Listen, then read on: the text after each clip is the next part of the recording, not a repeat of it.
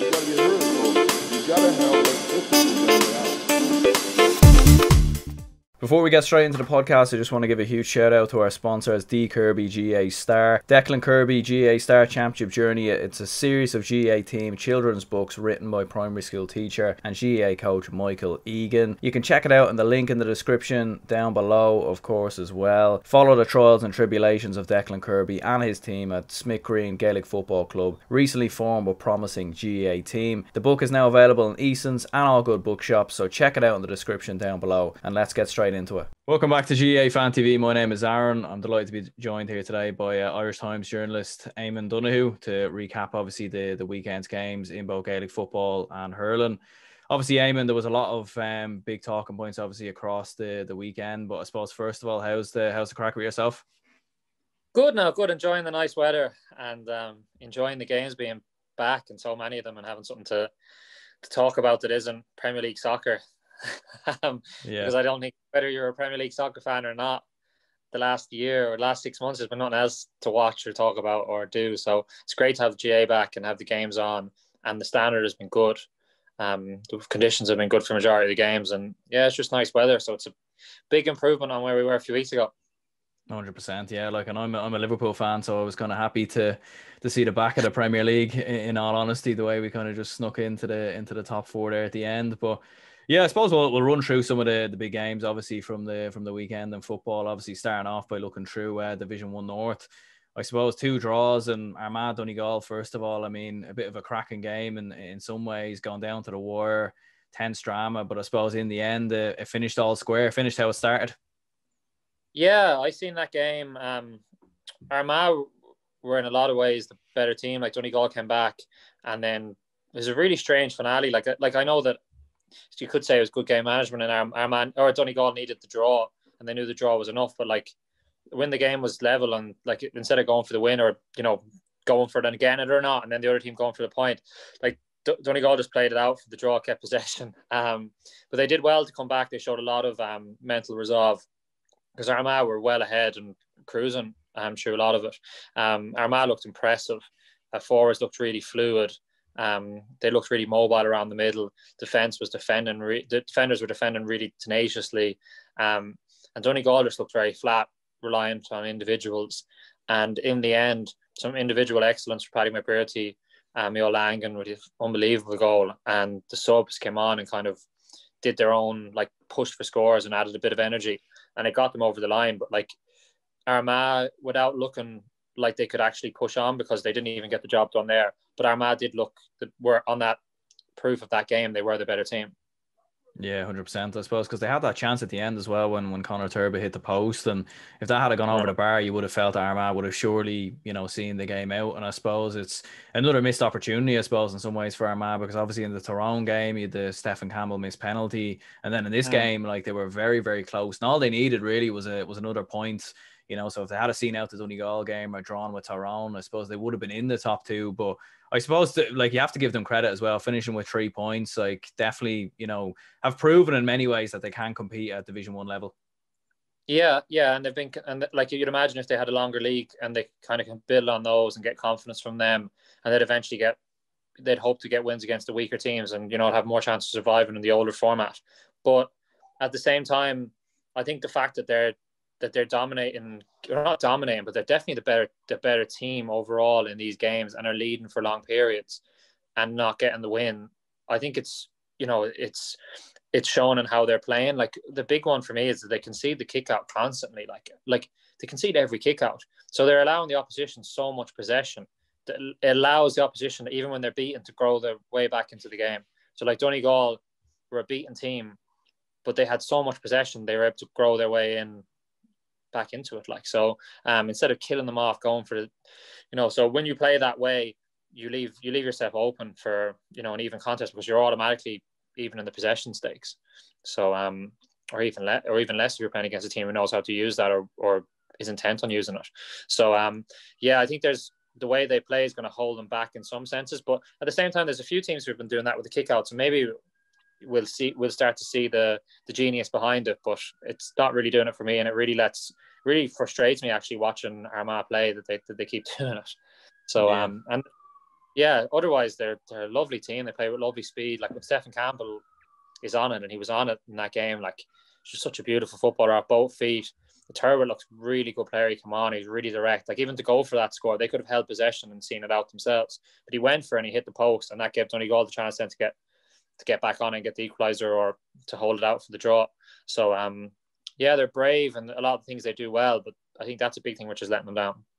Mm, yeah, I think it's game management, I suppose, as well in many ways because he had that Oisin O'Neill chance late on as well, and he ended up going for a point from from miles away. Like, and you know, you wouldn't yeah. see a, a, Dublin or a Donegal or even a Kerry to a to a certain extent do something like that. There just seems to be whether it's a bit of inexperience, I'm not sure, but I'd imagine anyway the likes of Kieran McGeeney, Kieran Donaghy will probably you know, laying into some of the lads there, I suppose, after the game because there was definitely the chance to see it out. Like, and he he scored one from uh, he must have scored one from fifty over fifty meters in the right at the mm. end hmm. of the first, and um, I had text from a friend saying like that's the problem. Like I was just I was still in awe about of the score, and it was like that's the problem with Armagh. He'll t- he'll shoot one out later on and go wide, and at the end of the game.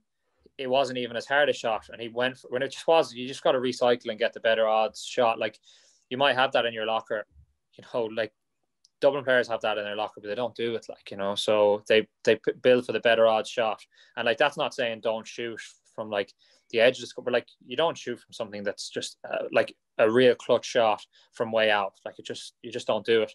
But at the same time, the, those O'Neill, the O'Neill brothers were fantastic. In the second half, I don't know why they stopped going as direct. Um, I think during the first half, Hugh McFadden, he was fantastic for Donegal. Like he was just everywhere and so physical and he dropped back um, as often as he could in front of um, that link between the two O'Neills, and he cut out a lot of high ball. Um, but I still think that there was enough opportunities where he couldn't get back, or even by just having that option, it would keep Donegal honest and keep them stretched. And I don't think they exercised it enough as the second half wore on, and they just started coming deeper. And yeah, but it's all it's experience, you know, and not losing is still an improvement on other years where they've kind of in Ulster Championship, especially in big games, they've pushed teams tight and then fallen apart completely. Yeah, and I suppose speaking of experience, obviously Donegal are certainly a team that showed a lot of experience in that game. And I suppose Patrick McBrearty, like un- undoubtedly, like especially with that left foot, probably on his day, one of the best forwards in the country. And I suppose considering the injuries that Donegal had coming into the game, like Neil McGee, Oisin Gallen, Michael Murphy, I suppose like for them to fight back just like they done against Monaghan, like they do deserve a lot of credit, I suppose, for for getting back into the game. Yeah, and they were, you know, they were out. They're being completely outplayed. They were being squeezed. Um, they were just struggling, and they looked slow, and they they just kept at it. You know, they kept at it. They kept playing like they kept just coming and coming, and their bench made a massive impact. Conor O'Donnell came on and kicked beauty with his left foot and then he kicked a beauty with his right foot.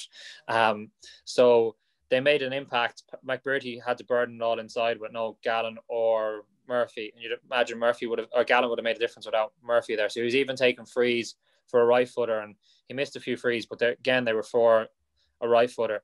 And um, McBrearty had to step up. Hugh McFadden, I think, really had to step up, and Ryan McHugh was kind of quiet, but he worked really hard and he stuck at it. And they just showed that they're just a really experienced group and that they've that they have a massive amount of want still there because you don't fight for the league games like that unless you really want to, um, yeah, unless your team still has a lot of hunger.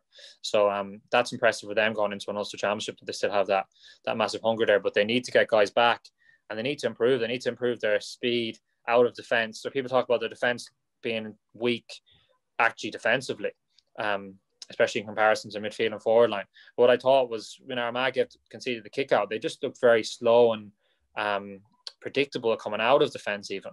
So they need to improve that um, big time because the teams will take that and they will allow them time and space back there and they're no real threat. Whereas you think of Donegal under Jim McGuinness and stuff like that and like even the likes of Paddy McGrath and um, Anthony Thompson and those guys, like they were given and going. Karl Lacey, obviously, they were giving and going, and they were. And you, when McGee is there, you still see that, and it's not even that them players are going to cause a massive threat, but it's just the movement and the speed and the unpredictability of it. And at the moment, they're just a very predictable, very one paced.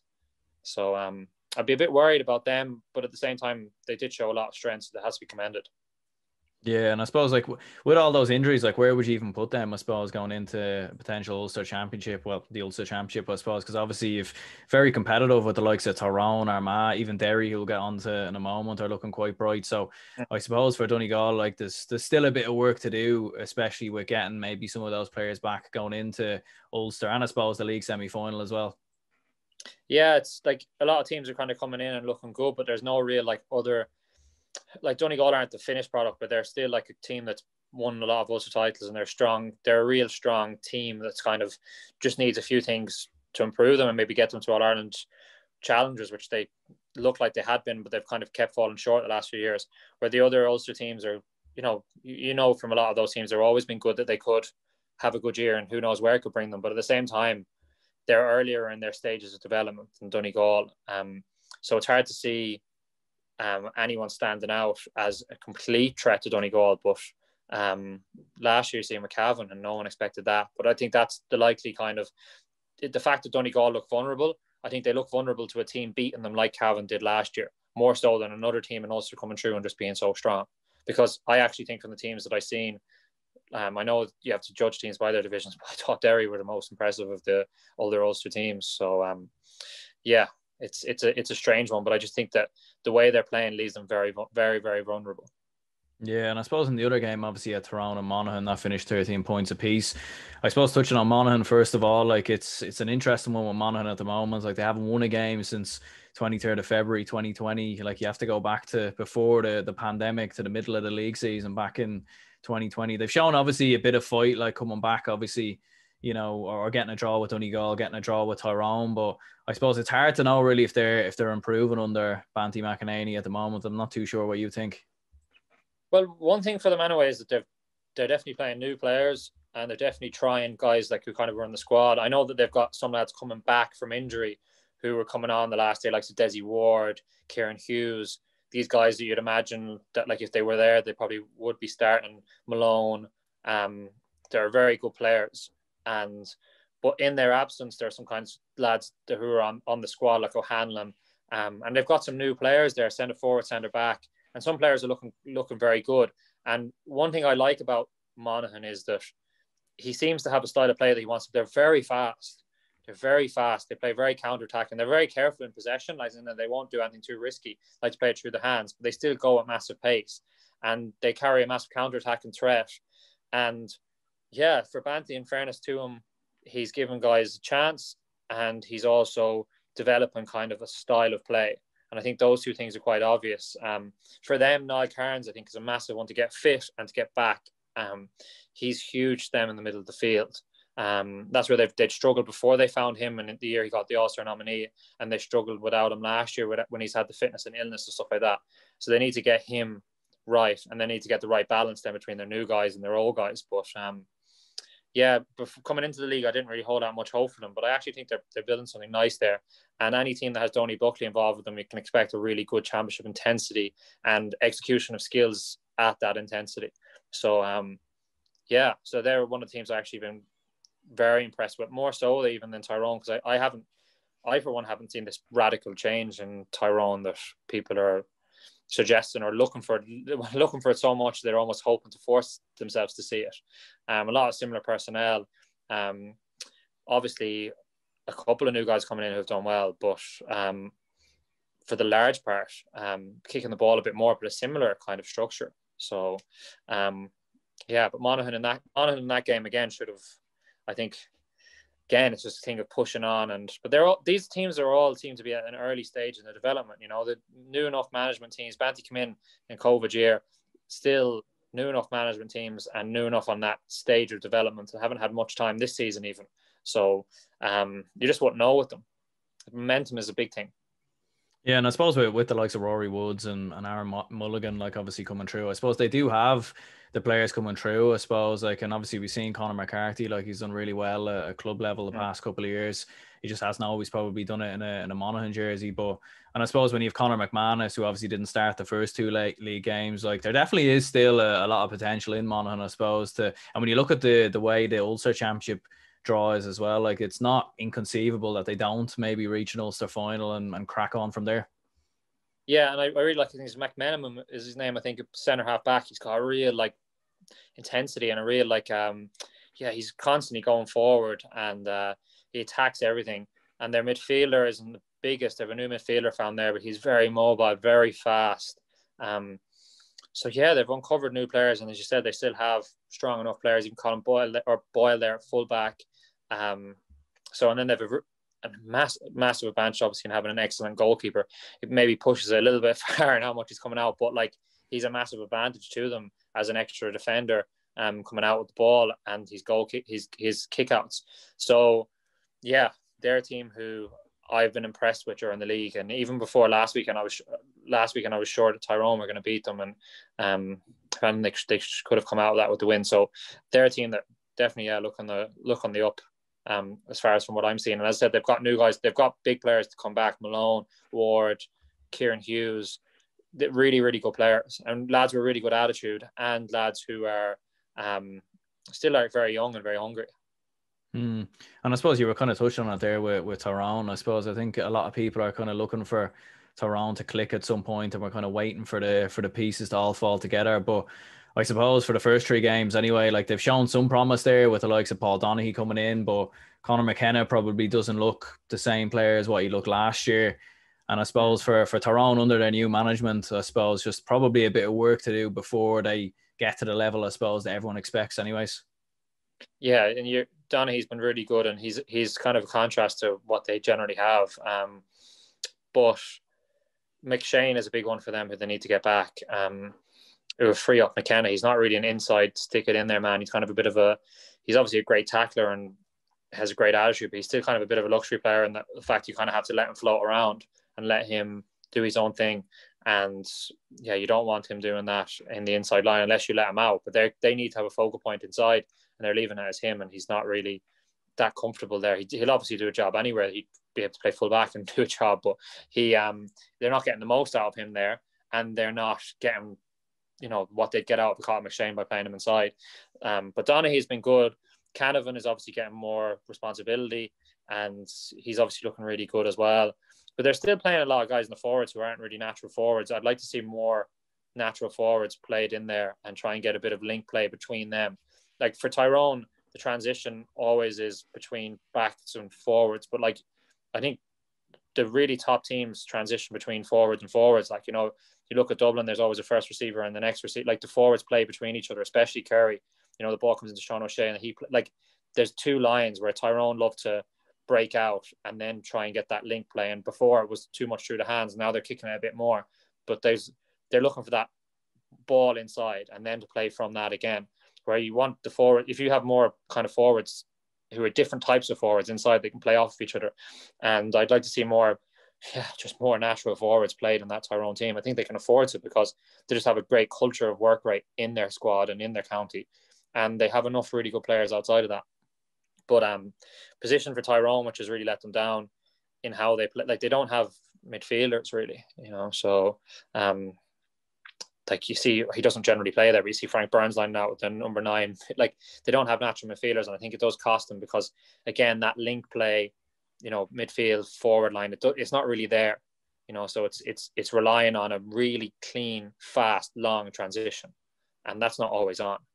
So and that forces them to turn back and keep the ball and you know so like Mickey Harte wasn't uh, he wasn't playing in the way he was completely because he was stuck in his ways because he did change his team, but like he had a certain personnel, and um, yeah, so he they are limited. But I the one thing they can control is getting more forwards on the field. Mm.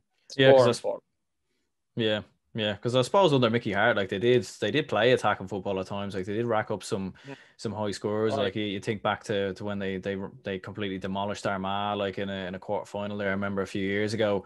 Like what what do you kind of see with their their style of play? Do they look like a team that's kind of you know are, are more on the front foot now because I know obviously like we've seen a, an image that was floating around on Twitter there about a couple of weeks ago. It showed a lot, I think six or seven of the forwards like all high up in the pitch, like kind of in the the full forward area.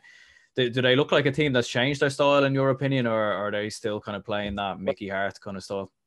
Well, that's based on like your your position in in in possession will be based on like your defensive style. So like they're pressing up now. So like when they turn the ball over, they've got six forwards up because their six forwards are all pressing. So, but I don't. I think that when they get the ball, like so say for instance, they turn over a team in the full back line, in their own full back line. That's when I'd be looking at how many forwards you have up and where they are. And you don't like you need to. Th- that's where I think they still struggle. Like you know, then forwards don't need to be in the, but they need to have links to be able to play through those guys. To you know, and you, you need to have certain players to play in them roles. And I just think that they play guys in those roles who are like real workers or who are, but you need to make allowances for for some more football intelligent guys. And I don't really see that there. As I said, for a, for a Tyrone transition to work, it has to be very fast. It's always very fast. Like they'll turn over and they'll come out through the hands, through the hands. And like you know, like I remember when they first put McShane inside and they put Matty Donnelly inside with him, everyone was complaining they lost the first few rounds of the league maybe about three years ago. And they put McShane and Matty Donnelly inside together. And the two of them were fantastic and they were playing way more direct ball. But again, it was that from half back line into the full forward line, direct ball. And they were getting up massive scores and they, they stayed up. Like, you know, so it's, and then they had a big year and also championship. So like Mickey has has played more attacking at certain times. So people are talking about more kicking, and then this pushing up. Everyone is doing it now in the Division One. They're all pushing up more. Mayo are the big ones who did it last year. So I wouldn't read into any of that. I think that they need to literally pick more link forwards. You know, more link forwards in in that attack who have a score in mind, a football in mind, and they need to find those guys and trust them. You know, so and other counties do that because the first ball shouldn't always be you know, Frank Burns from his half back line kicking it into the corner into the space for, you know, McKenna or McShane, whoever's in there coming out, and then he collects and you've got five or six runners coming. Like that's a lovely way of playing, but that doesn't always work. And if that doesn't work, you need to have another option other than just turning backwards and hand passing the ball around. Um, and you look at Dublin, like they've got all of the different forwards are coming out. They've got so many different options, and then if they get in, it does. Then they can they can play all the different ways. The Tyrone are limited, I think, because of the personnel they play in their attack. Yeah, and I suppose obviously next for Tyrone will be Kerry, who obviously comfortably dispatched uh, Roscommon over in Division One South, two fifteen to one twelve. I suppose it was a close game going into the, the final quarter. There was, I think, they were they were level at one point. There was only a couple of points in it really until the until the late goal. But uh, what was your thoughts on, on that win for Kerry? And I suppose what's what's your thoughts been on, on Kerry in general? I suppose so far in the in the National League. Well, that game looking at that game exclusively, I thought that Kerry gave some guys like Tony Brosnan, um, Buckley centre forward, um, a few of the backs, they gave some guys an opportunity and they really didn't take it. Like they really showed the difference between their starters and their subs um, was a big step. And I think Roscommon came into that game, especially the second half, they tore into it. And Kerry dealt with it to win the game but they definitely didn't match it.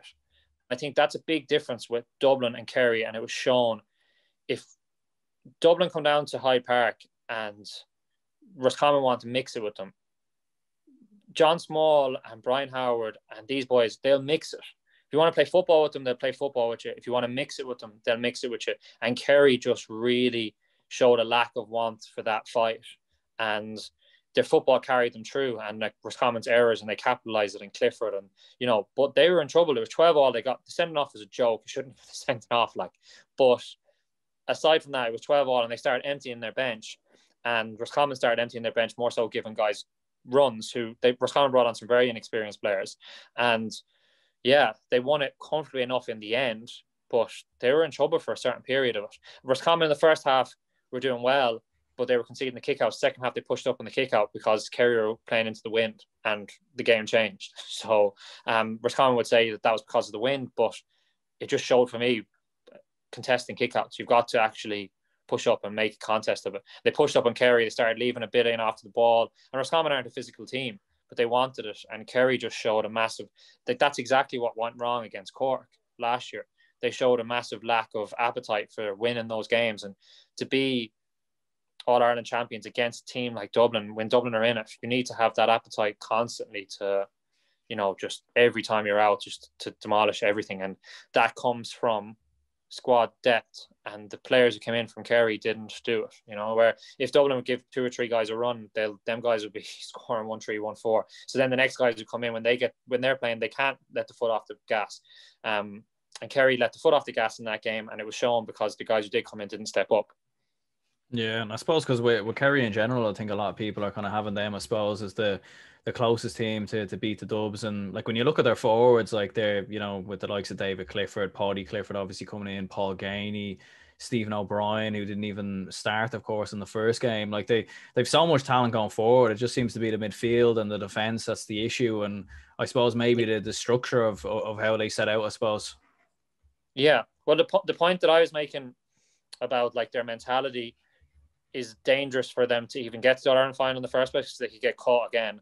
And it's dangerous in that like it's just that couple of percent that could be the difference between them and Dublin, and that's something which is lacking. But in terms of their team overall, like in what we've seen against Galway, um, especially when they put out kind of a stronger team, when Jack Barry comes into the middle third, he's a big addition. I know O'Connor has played well around the field, but he doesn't have the same physicality. Um, and like you need Barry there essentially anyway to mark Fenton if they play against Dublin. David Moran has been off of it. He got a, a, head collision early in that game, and you know it was very like he he lost a lot of blood, and he came back in, and he just kind of wasn't as dominant as you'd expect him to be in a game like that. Um, and if he can't dominate games like that, he kind of struggles with the movement of the Dublins and Mayos anyway. So he he's a bit of a concern for them. And defensively, yeah, they just they they seem to kind of be intent on like really tackling hard and pushing up, but they get broken through very easily. So um, Foley played well for them in the full back line against Roscommon, and one Roscommon forwards are very good, so it was a good test for them defensively. But um, they'd be they would have been happy to have not conceded a goal, and then that last goal was very easily conceded. So um, I've been one who's been, you know, blowing Kerry's horn for a while. Um, but this year has actually worried me about them, to be honest, um, just men- mentally and defensively they look a little bit frail, but we'll see. And they have so much quality; it's only small percentages, and they could find those percentages in like you've seen Kerry teams in years gone by losing Munster championships coming through the back door. They don't have that this year, but they could, you know, a few things could make a massive difference. A few changes could make a ma- massive difference for them. So I wouldn't be writing them off, I wouldn't be getting too excited. Yeah, I suppose it was it was classic Kerry in many ways back in the day when they always used to, I suppose, come through the back door and kind of lead you on and make you think that they're they're, they're gonna you know not not beat the Dubs and everything else. But I suppose speaking of Dublin, obviously they beat Galway two sixteen to one fifteen. Mm. I suppose it was for Dublin anyway. It looked like they definitely weren't at their their absolute best, and they didn't really need to be. They were kind of, I suppose, just in many ways cruising through the game with some of the the new lads obviously coming into the team as well. Yeah, but Dublin, what they'll take from it is finding the guys. Like they seem to have found a like a really strong midfielder or Coffee Byrne. Like he's a he's a powerhouse and like he's mad for work, mad for tackling perfect balance with Fenton, like who obviously is such a natural footballer who's physical as well. But like if you have someone real abrasive with him who still will do the simple the simple things in possession and is comfortable in possession. Um, but he looks like a real addition. I know he's young, and when it comes to the heat of championship against a Mayo or a, a Kerry, and you have to kind of bring that physicality to that level, it's a step up. But um, he looks like a find. Um, even when he came on against Roscommon, he looked like, you know, he's getting turnovers. And that's what teams are looking for now around the middle of the field. He's getting turnovers constantly. He's constantly in the tackle. And um, and he's very clever in possession and he's a big man, so he's a kick out option. So he looks like a complete find. And I thought he played very well in that game and looked very natural and comfortable with Fenton. So um, that's that's a, a, step for them. And but yeah, they did they didn't look as fluid in the first half especially. Um, but Galway played well and that was a big step up for Galway. They held possession really well, and they made it hard to play against. And Galway, the thing with Galway, obviously, when they get things right, they have a lot of talent. So um, it's a hard one to read because Galway was so bad against Kerry the first day. But like, if you're bringing Galway back to the standard they were pre-COVID, you know, Galway were, were very competitive, and Galway have a massive amount of talent in both club level and underage county level coming through. So um, with Dublin not being at their full strength and not being at their best, still winning is you know a win is win. Yeah, and I suppose for Galway, like they, they definitely did show signs of uh, improvement. All right, like I was impressed with Peter Cooke in midfield. I actually thought he he had a good game who came in, but I suppose Shane Walsh, like he's obviously the the man on everyone's lips, I suppose, when they when they think of Galway. Like I mean, ten points on the day, and he can kick them on his left, his right. I mean, there's not yeah. much he uh, he can't do. Yeah, Shane Walsh is phenomenal in there, and like I, I think that if if Galway have full strength, um, Joyce wants to leave him in a full forward, like because he's a phenomenal player. But when he comes out, come sometimes it comes a bit more of the Shane Walsh show, where Joyce has consistently wanted him to stay inside and be that go-to, reliable inside forward. And yeah, so when they get everyone, it'll just be interesting to see the way they float it. Like again, pre-COVID, Walsh was inside. Comer was out the field, floating around the field, out the field from like wing forward, and they looked very um, balanced.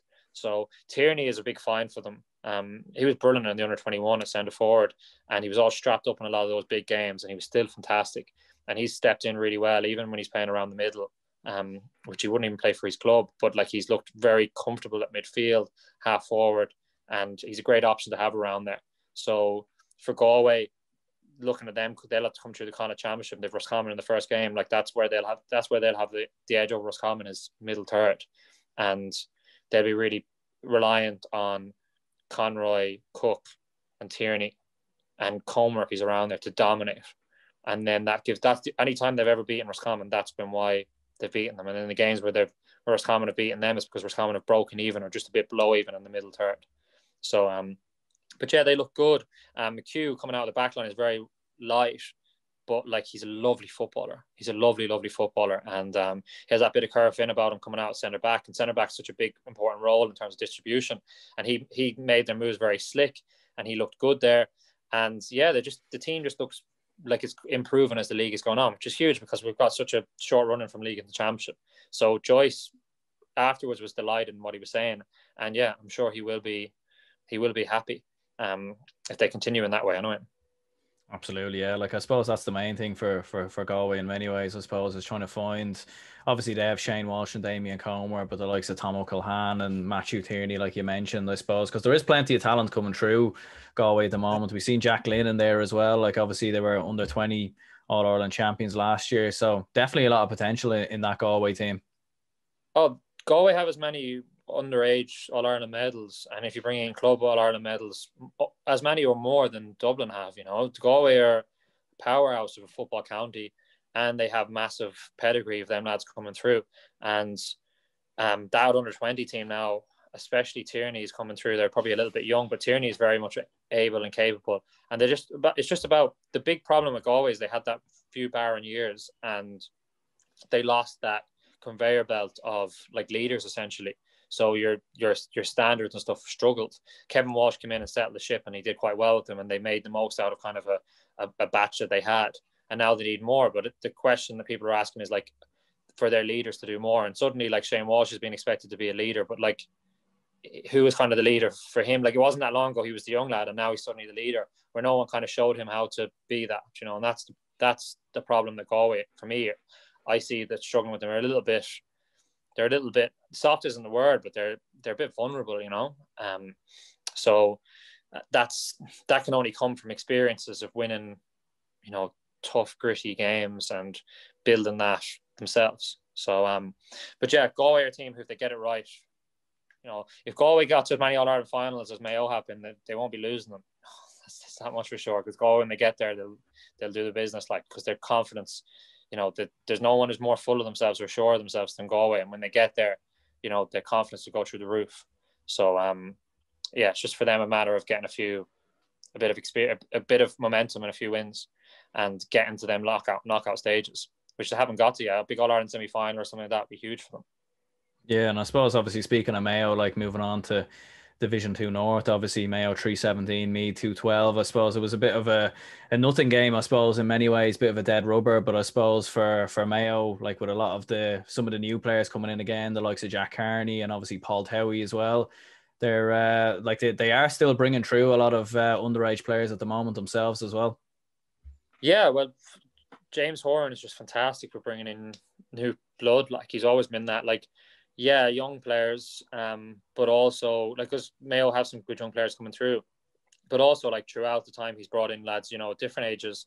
Um, he gives guys runs. He plays new players. He's not afraid to keep the squad fresh and the team fresh, which are two massive things. And he always used the league for that. He's used here in Division Two now, so they can still win games comfortably.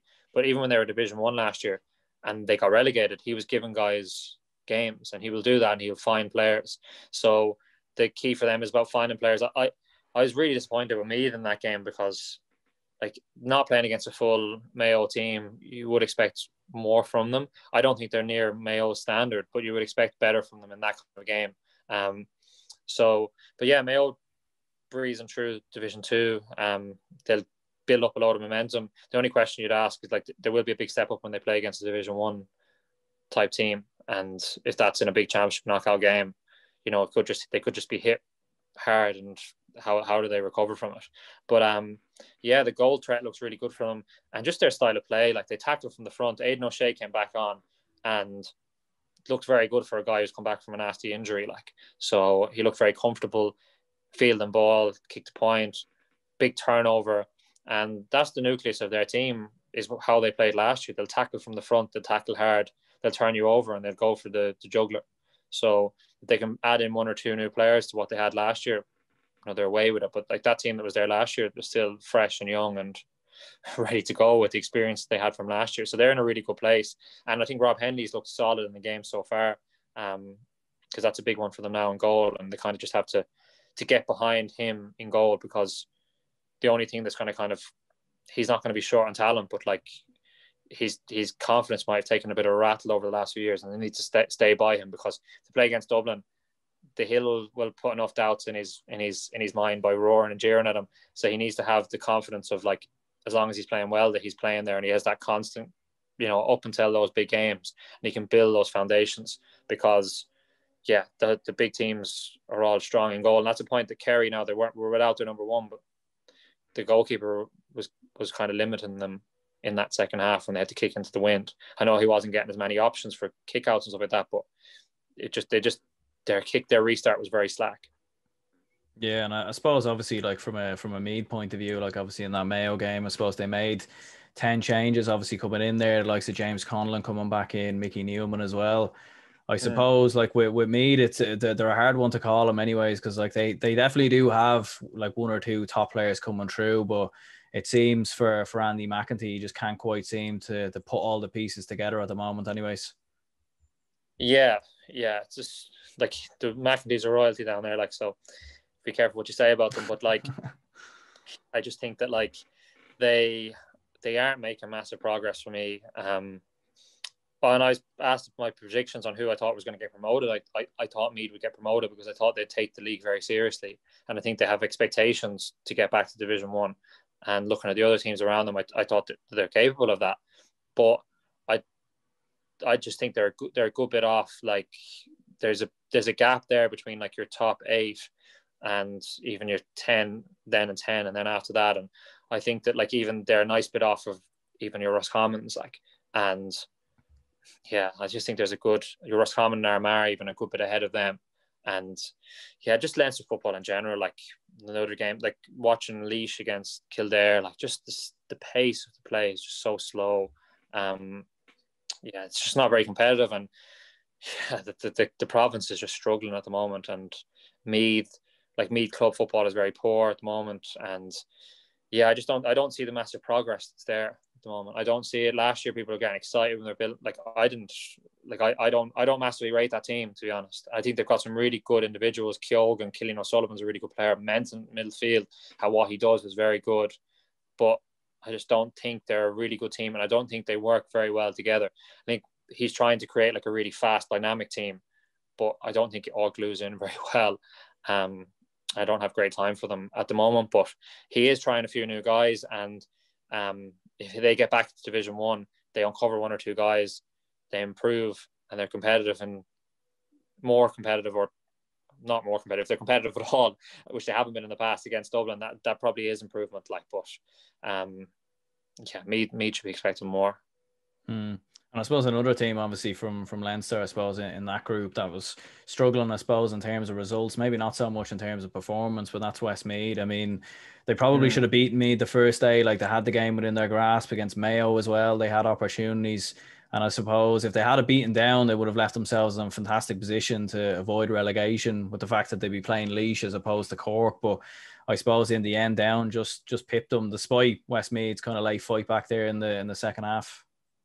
Yeah, I I um I tuned in when they were only had scored three points and down were all over them, and they scored a goal, and then the penalty. John Heslin missed a penalty, which is uncharacteristic of him because he's he's obviously such a good, such a good and clinical forward. Um, so Yeah, and then they end up only losing by a point. Like so that that would have, but when they were when like the goal was kind of out of nothing when you know they had only scored three points and then the penalty came after that and they kind of got momentum surge. They were struggling before that.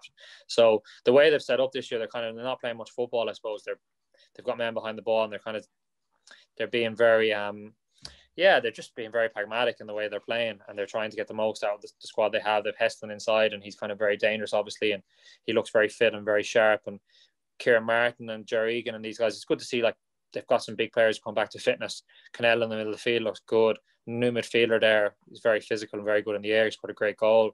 Um, so like yeah, they've got their big names kind of all around there, which is always good for Westmeath because some years they just don't have their main players playing, you know, and it makes a massive difference for smaller county. But um, yeah, it's the way they're playing. There's certain limitations you're gonna you're gonna get with that, you know. So in those games, as you're saying, they did well, but they didn't win it. Like when you play, when you're set up to play in a certain way, that's what's generally to happen. Like you can't turn your dominance into scores because you're playing so conservatively. And they got caught out in those first two games. And then down said I didn't see the part where down were very strong. I just seen where Westmeath came back and it was just momentum surge and they didn't quite get over the line. But um, yeah, I think Westmeath have some brilliant footballers and I'm right on the border Westmeath, so I'd like to see them do well. But uh, I still I still think that when Westmeath are at their best with John Heslin in the middle of the field. And I'd like to see him out around there and just really dominating, dictating, and being on the front foot. And you might say like being put is more is more positive by putting one of your best players full forward. I don't think so. They're looking for him to kind of do massive work in there on his own. Love to see him midfield, and like anyone who can get the better of him in the middle of the field and dominate the game above him, you know, take their hat off to him, and that includes Fenton. Like so, um, that's that's a step that I'd like to see them making. And in previous years, he's been struggling with knocks and injuries and his hip and stuff like that. But he looks like he's moving quite well. So I'd like to see him playing in a more out the field role, and I think he can push them on a bit. But you know, if they can stay up, it's still been a good year. But if not, the league the league is what they'll be judged on because they're not gonna they're not gonna win Leinster like so.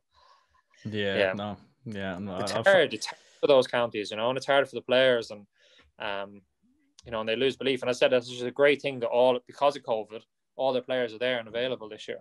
So mm. that's that's that gives them a better chance anyway. Because in other years, all it takes one or two guys to say, "Oh, you know, what's the point here?" and then move. And another one or two guys will come back, and the team is constantly changing. Where they have the majority of their best players in the county available and relatively fit at the moment, and that's just good for for the county itself.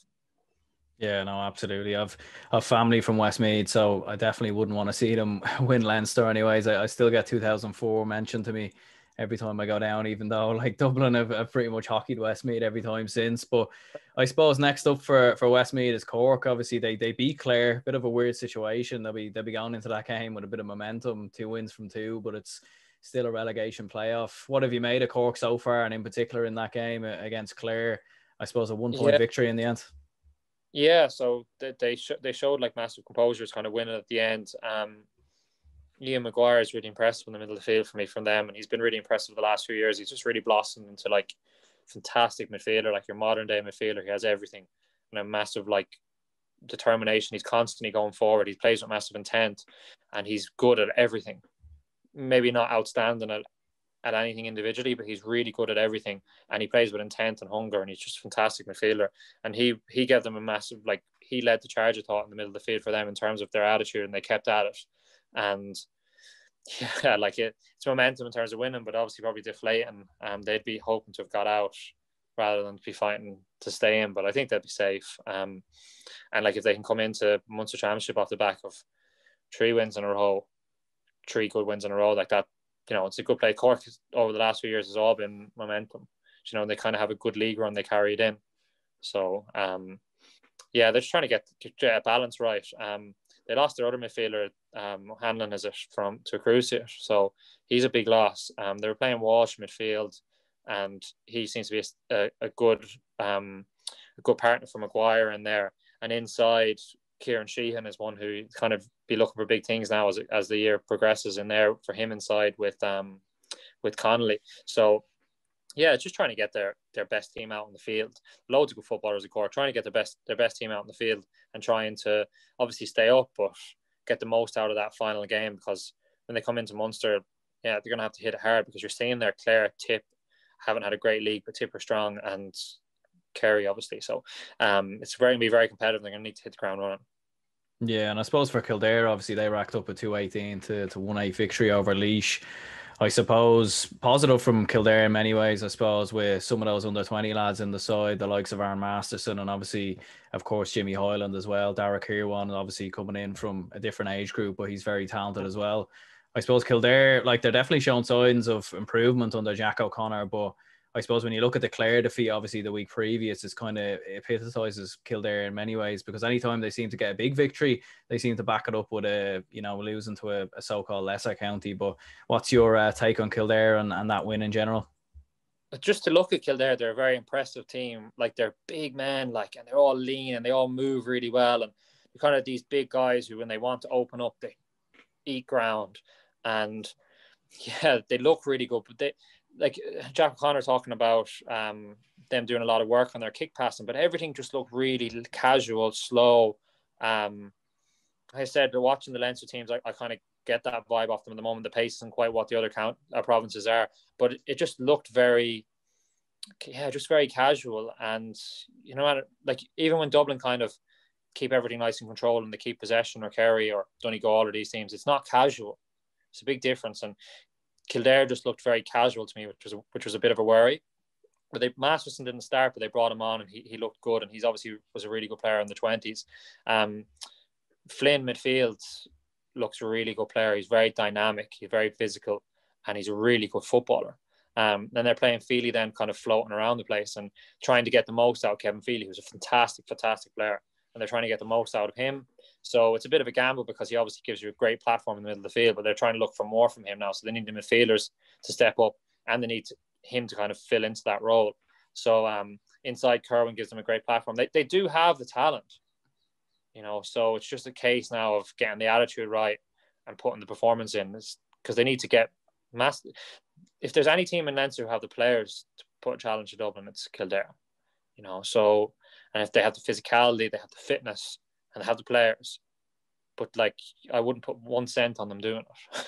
so like there's massive kind of attitude and kind of just style of play issues.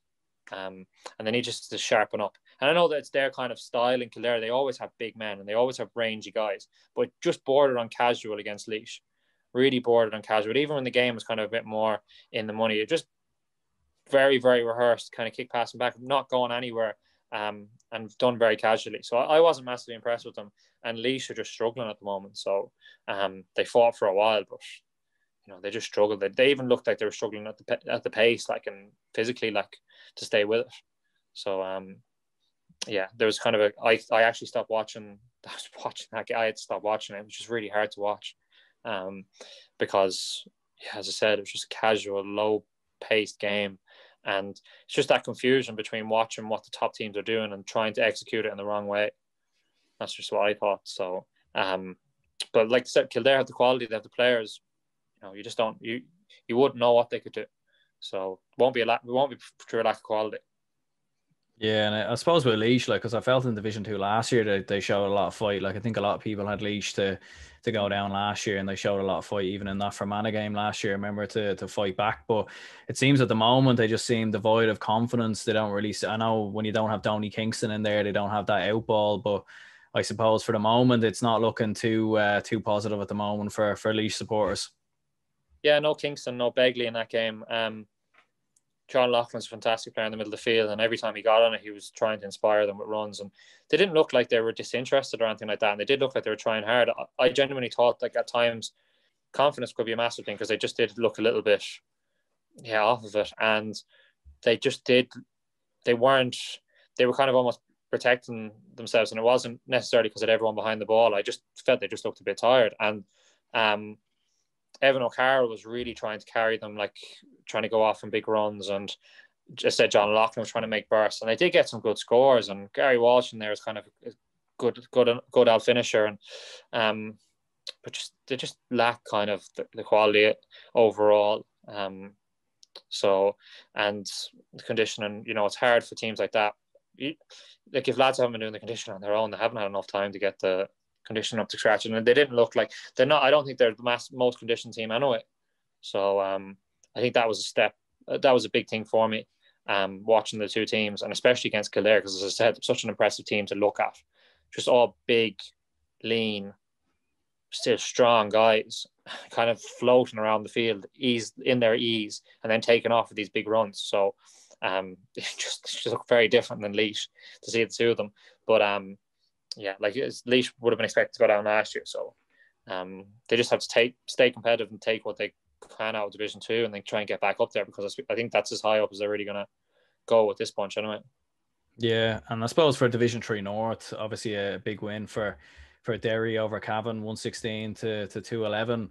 I suppose discussing Cavan, I suppose first of all, it's a it's a very interesting situation with what's happened with Cavan. Obviously, winning the Ulster Championship last year, and you know coming into Division Three, like I I felt personally they'd win every game and, and get promoted, go up as champions, carry on that momentum from last year. But mm. defeat to to Derry, and all of a sudden now they're playing Wicklow, you know, in a game to avoid relegation to Division Four. It's it's hard to know how they've ended up in uh, in this position.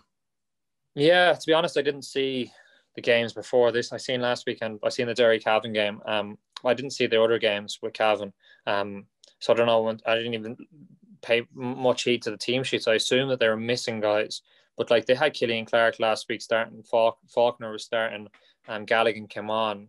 Um, like he made a massive input for them. He obviously won an All Star, but like he turned against them last year when he was coming on. All of the games he turned on the, on its head when he came on, and then when he started, obviously he played played a big role. So um, not quite a full strength, but they did all right in that game against Derry. Derry were really impressive, like really, really good. Like they just looked like such a good team, and um, yeah, like I, I, I wouldn't have been getting too. I wouldn't be looking at that performance and saying Cavan are really bad, and I'd be more looking at it and saying Derry looked like real mm. prospects for an Ulster title. Um, I thought that Rogers at fullback, I've always like Rogers at fullback is a brilliant player, really good, fantastic player to come out with the ball. Christian McKaigue is one of the best defenders in the country, if not the best defender. If you put him in a cornerback context, he's playing centre half back again. Fantastic player to come out with the ball, and then they've got real pace.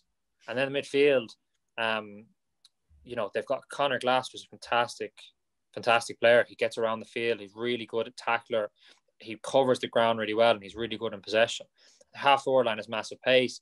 Uh, centre forward, really good, really good uh, contest or option for kickouts. And the full forward, Guigan, is he was fantastic. Like he's such a good player off both feet. And they just looked like a really good team the whole way through. Um, that had a style of play. And you're kind of thinking to yourself, geez, where did Derry start playing like this? But they've got all of their club guys back and just looked really, really strong. Really good flowing, fast team who move the ball with the foot and have good players throughout their squad and um, or throughout their 15.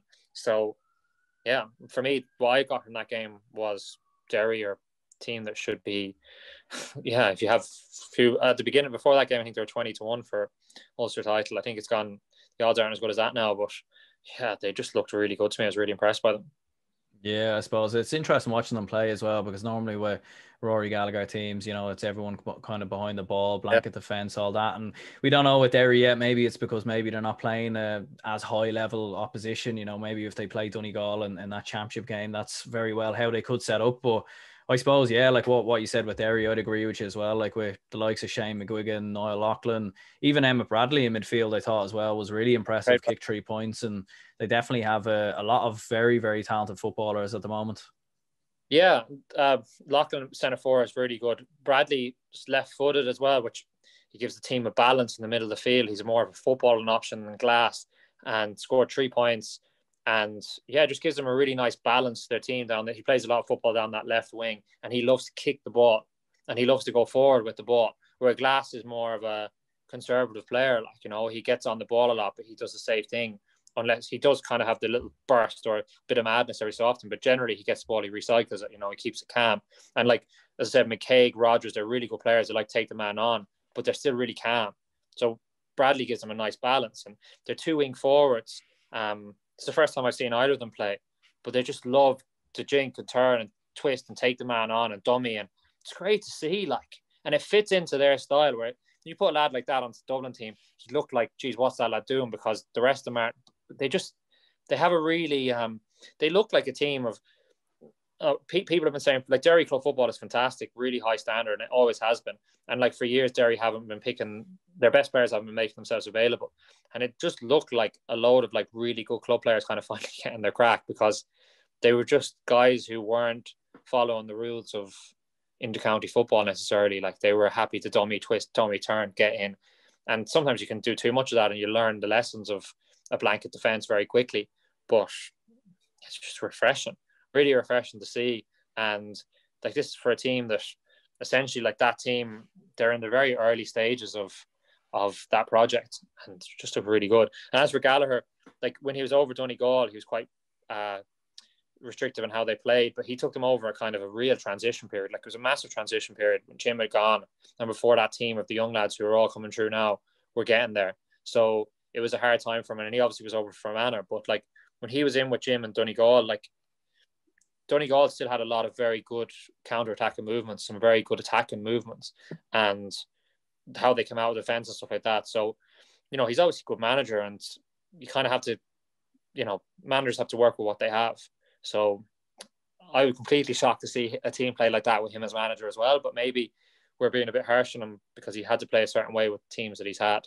Um, I was just really excited by them. They were the highlight for me of the weekend watching that Derry team. I was so uh, excited, and especially McGuigan inside. Like he's just such a good player, and he's so two footed, and it just shows the the the strength of having two really good feet because they couldn't mark him.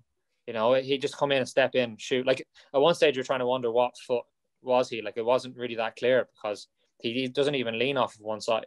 Um, and he looked like a really good player. So can he carry that? He was so good and at everything he did, it'd be hard to see why he couldn't carry that through the championship.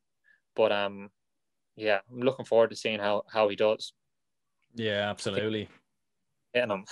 what did you say there? Sorry. If he gets a Neil McGee or somebody hitting him, it might be a different story. But... yeah, yeah, that might keep him a bit quiet then. But I suppose we'll have to see if uh, if Neil McGee's even back by then. I suppose, but but mm. um, but as for Fermanagh, I mean, they drew it with Longford. Um, I, I didn't see the game now against Longford, but I did see them against uh, Cavan a couple of weeks ago.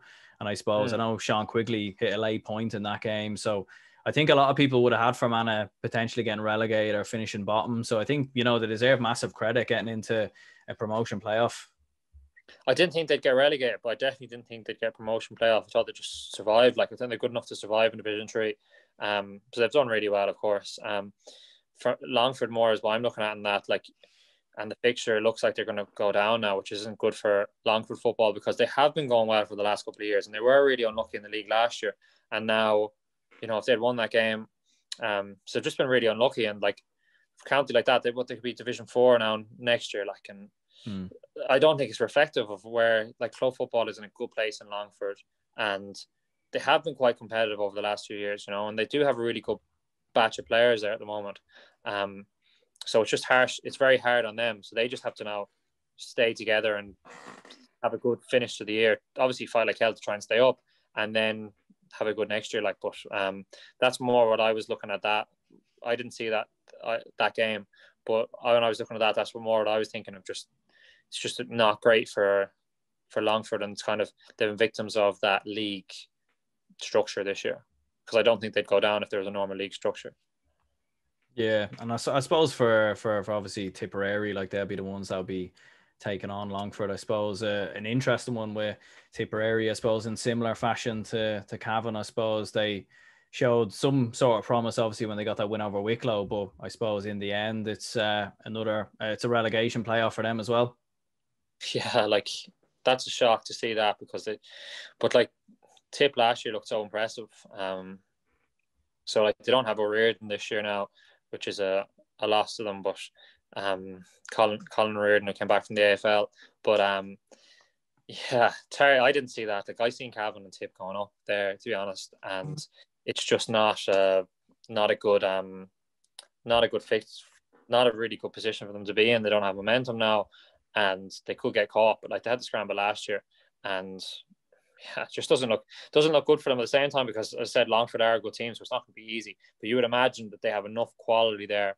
Their inside line, Conor Sweeney has been really good. He carried in his All Star form. He's been really good. Philly Ryan kicked a few points there the last day, and yeah, if they can stay up, they can get a few fines. they can they can lash at Munster again.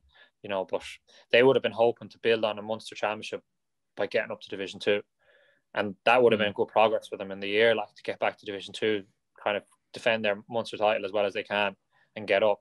Um, like to go down to Division Four, like it's just mad how like again Yeah. the structure and stuff like that, but. It, it's on it's, like they have been very they have been very poor and very lax overall so um, they'll have to step it up a massive amount and I'm just excited to see Tip play with Philly Ryan inside I just want to see how he kind of fits into it um, and see how he gets on um, you know it's a great kind of opportunity for him um, on a Dublin squad and yeah just for, for players like him I just think it's great um, to Mm. take on that challenge and go out and try and search search for inter-county football so that's that's what I'm really looking forward to when I see them. I haven't seen them play this year now yet, but just been following the highlights and seeing the match reports and stuff like that. But seeing Philly in action, that's what I'm looking forward to seeing with them anyway. Yeah, I suppose who knows? Maybe Philly could end up setting a bit of a, a trend, I suppose, maybe with with players who can't break on to the Dublin team and, and maybe have family elsewhere. But I suppose Limerick, they uh, they got a big win, obviously over Wicklow. I suppose Limerick are looking pretty good at the moment as well. Um, you know, like Yeah. obviously co- coming up from Division Four last year, potentially should have beaten Tipperary, of course, in the Munster Championship, and now two wins from from three, I suppose, in Division Four uh, or Division Three South. Yeah, yeah, yeah, exactly. All those things you said last year, so unlucky, being extra time, like they of Sweeney sideline, like they had Tip beaten last year. So to come in and they beat them in the first game, then again this year, kind of made a point with that, and they've been, yeah, they, they have a great chance of going up. Like it, I didn't see it. I I've seen games of Limerick. I've seen that Limerick Tipperary game last year, and Limerick were very good in the way they played. They kind of were just it looked like a really hard team to play against. A really hard team to play against, and like for that, it's kind of like, how do you, uh, like, they just seem to play a bit different through the hands a lot, and they have a lot of guys who love to take on the man. And like Corbett, a centre back, is just fantastic. Like what a player, centre half back, and he loves to take the man on. And yeah, they just seem like a quite difficult team to play against. They're quite dogged. They work really hard. They keep it through the hands, and they constantly trying to take the man on. And with teams playing all so similar at the moment in GAA, a team who plays a bit different like that, you know, makes makes a difference. And um, but yeah, like I really didn't, I didn't see. I didn't see that coming this year for them to go up. I would have thought they'd Hmm. one of the teams fighting to to stay. I would have thought it'd be a great achievement for them to stay. Like so, for have a chance to go up now is is is massive for them. So um, and it's great to see like Limerick and Offaly. When I was growing up, like watching, like Limerick and Offaly were quite good teams. You'd Limerick with John Galvin Mm. around the middle, and they were, they were a good, strong team. And and Offaly, like obviously, a traditionally really strong football county. So to see those teams get better and improve, yeah, it's great. It's great for football, and um, yeah, Limerick obviously has the hurling and, and the the rugby, but it's a massive city, and it's still like for Munster football, it's good to see Gaelic football to, to be to be relatively strong and competitive in, in Limerick. Mm.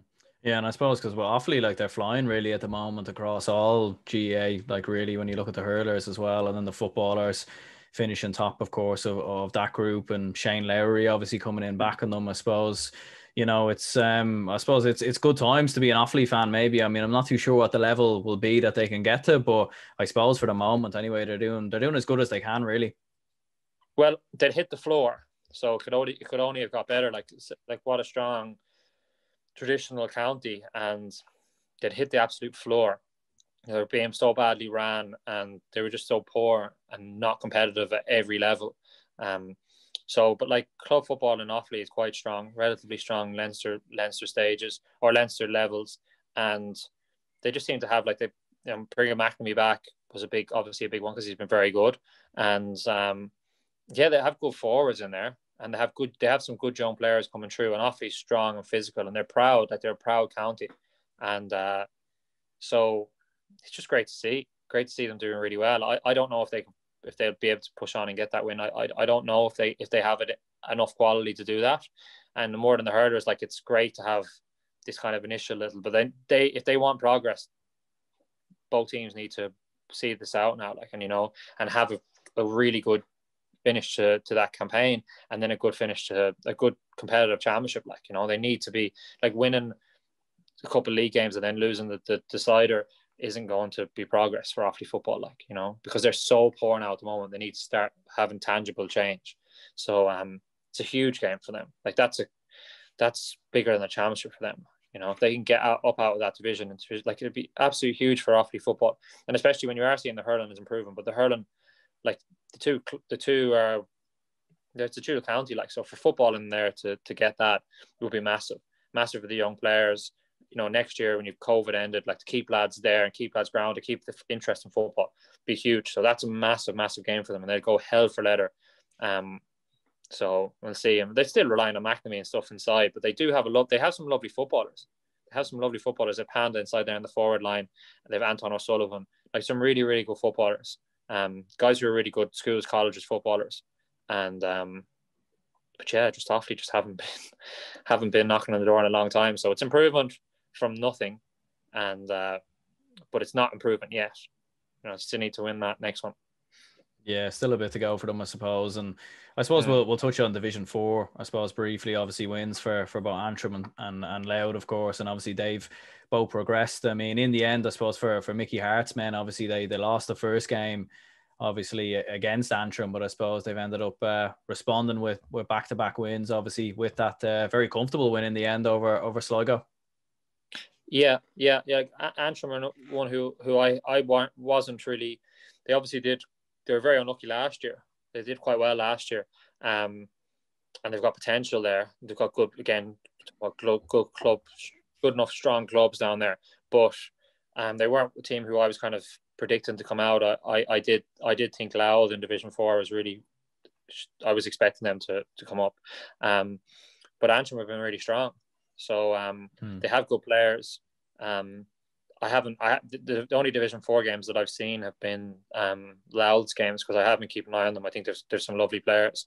Um, but just watching Antrim's progress, and more than I suppose Limerick's, it's not out of the blue because they have been quite consistent over the last few years. They're consistently getting better. Um, but yeah, that's huge for them now, and they just need, if they can get back up, it would be massive. Well, it'd be brilliant for for football in in Belfast, like absolutely brilliant. Like, mm-hmm. so mm. I'd like to see them coming up. Um, but yeah, it's it's it's a it's a it's a strange enough one in that division four, like because there's no relegation in as well, and it's just kind of a weird enough division. You just need to get out of there. You need to get out of there and then build from there. But the, the team that I said I have seen in Division Four is Louth, and I think that they just have some lovely players. Ciarán Byrne is fantastic um, players back from the AFL. He got really bad injury since he came back, and I just think he's a fantastic player who has a lot to offer um, and they're playing him in different positions. Number nine, and he's back the last day, but he's kind of playing in different roles. They've Mulroy inside, and um, even Duffy. Like they just have some really, really good players. Um, but it's about getting it together and building up a bit of belief.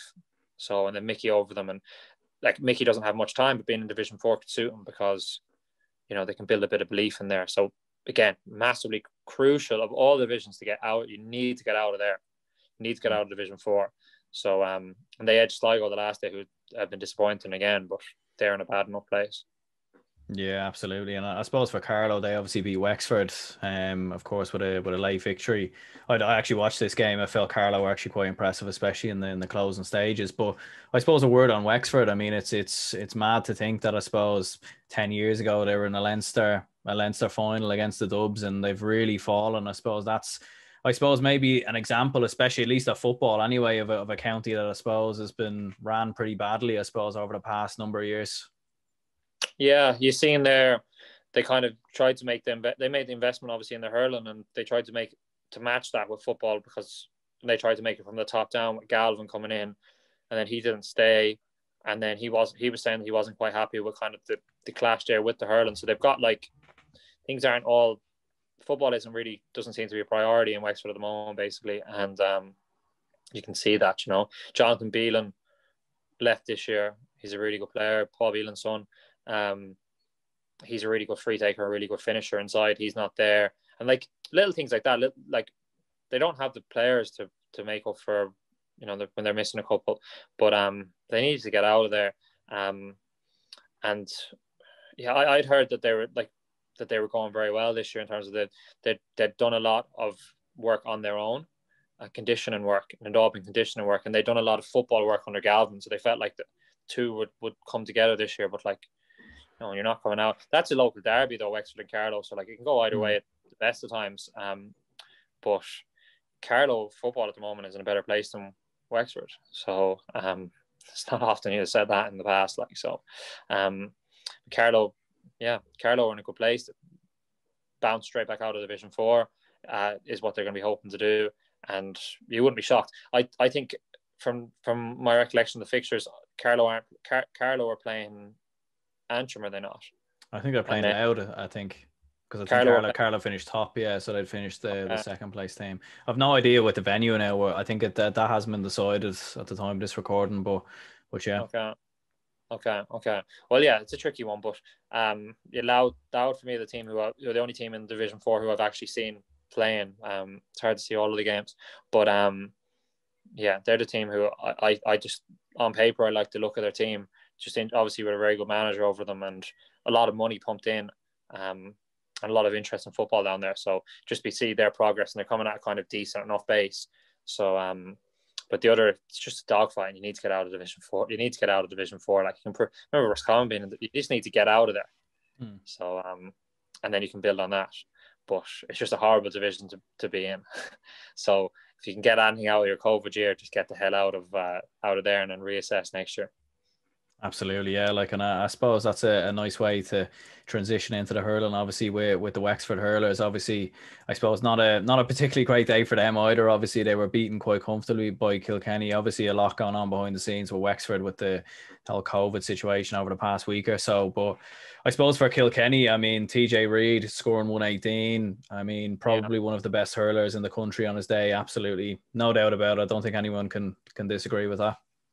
Yeah, TJ back um, just showed.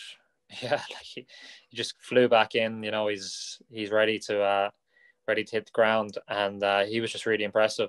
Um, Wexford just looked a little bit like they're a bit off in it, you know, and like that game, that's a game that that kind of this bunch have really defined themselves over. That they've really gone at Kilkenny over the last couple of years and had some big results, and they've really flown into it. And you have to match Kilkenny in that, you know, in that in that you know fight and work rate. Um, and over the last few years, some teams have been bigger and, and stronger than them and more physical than them. And that's why teams are beating them.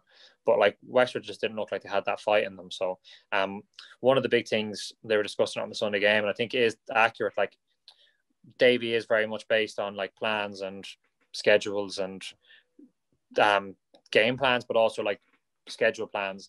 And they did look like a team who were training quite hard. Like so, um, like he is he is with a team now who've done quite well.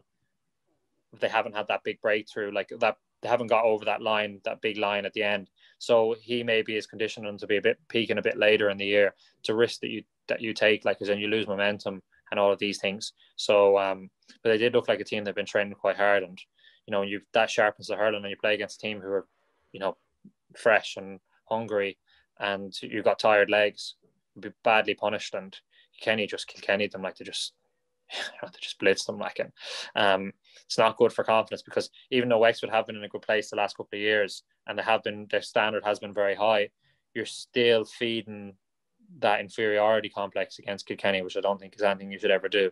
Um, you need to stay on top of them teams and and you know stay, you know keep keep certain standards against them, and they definitely didn't keep their standards. It was more like a performance of Kilkenny and Wexford you would have seen from maybe six seven years ago.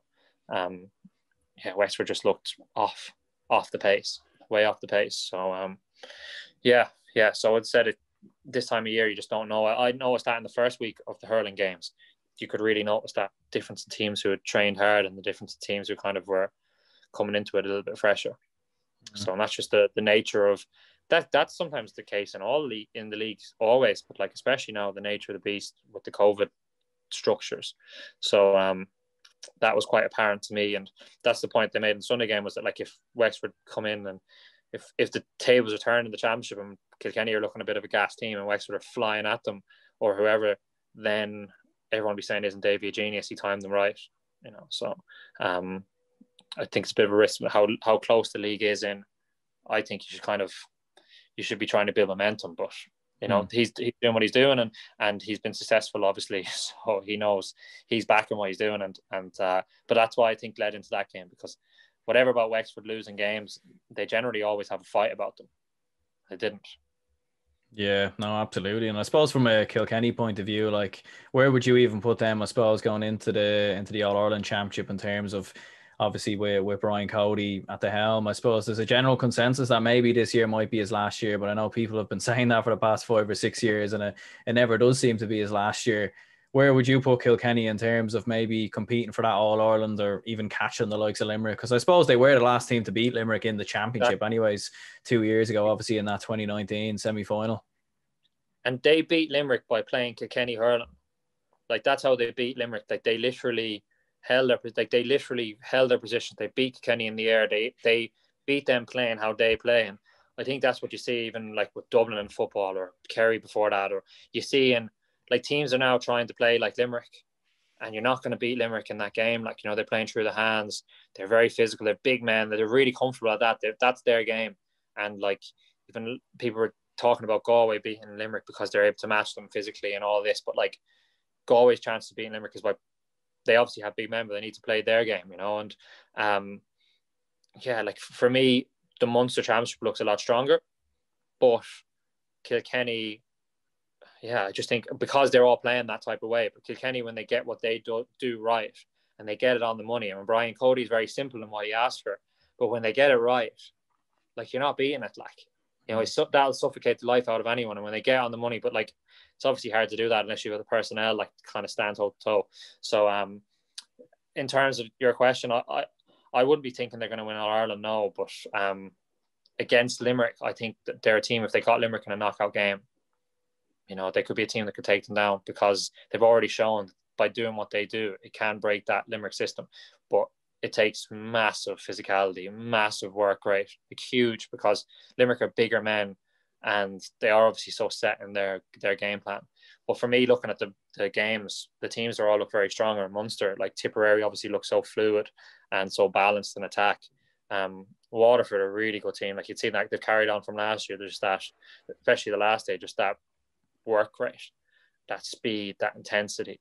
Um, and when they get that going, they're just so hard to beat. And then Cork look like a really good team. Again, they've kind of gone back to their DNA. Um, Donal O'Grady, kind of playing through the hands and their forward line just look a real goal threat, real goal threat. So um, the teams that look best for me are in, in Munster, even though Galway obviously can't be can't be discounted or discredited either. Like so, um, it looks very open in one sense, but at the same time, Limerick have been dominant. So um, mm.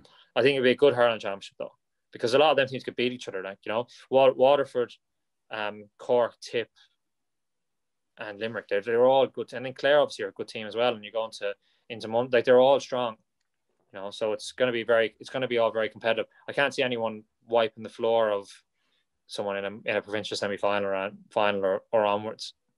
Mm. And would you still have Limerick maybe at the at the top? Because I think a lot of people, even though they haven't won a game so far this year, would probably still have them as the as the favourites going into the into the All Ireland Championship this year.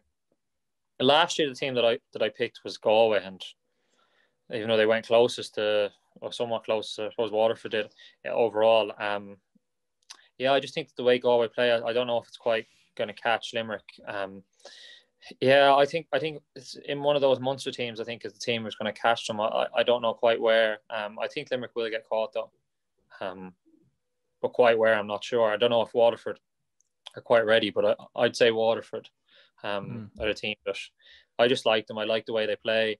Um, they're so intense, but they just need to get the bodies back out and like get everyone out fit and be at full strength and stuff like that. But um, I'd say Waterford, but not with any confidence, you know. Um, yeah, and then it's it's obviously knockout this year, like so. I just think one of the Munster teams might build a bit of momentum, and so we'll see, we'll see. But Waterford are just a team who last year went well. Um, I fancied them as an outsider last year. I thought they would go well, but I didn't think they'd get to an Ireland final. Um, so I can't see any reason why they won't keep improving, and maybe they will this year. They'll have learned a lot from, um, they'll have learned a lot from last year, and then that win over Limerick was like a mental. Even though the, the sending off had a massive impact on the game, it would have been a massive mental lift as well. So, um, yeah, they're the way they play. They'll, you know, they'll get more and more confidence in that work rate, that speed, that intensity, that pushing up, um, bunch in the middle so yeah, they're the team that that I that I fancy outside Limerick. Absolutely, yeah. It's definitely going to be interesting, anyways, to, to keep an eye on the on the hurling, obviously over the next one and the football as well. Look, listen, Eamon, I appreciate your time, anyways. I know we've gone on for a good over an hour here, so uh, yeah, I appreciate your time, anyways.